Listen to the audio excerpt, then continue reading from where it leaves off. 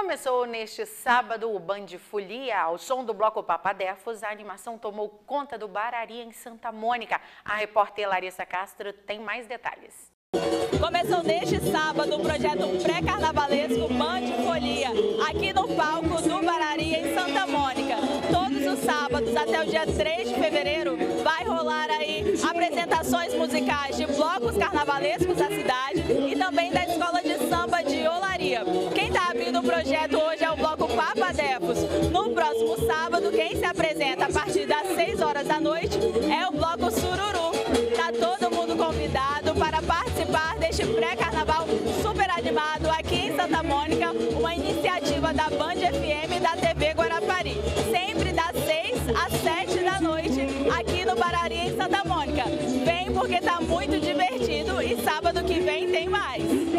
E olha, gente, junto com o projeto do Band Folia, o concurso Guará Beleza já está valendo, tá? Quem quiser participar, corre lá no Instagram da Band FM, arroba Band Guarapari. Ó, o pré-requisito é ter muito soba no pé, viu?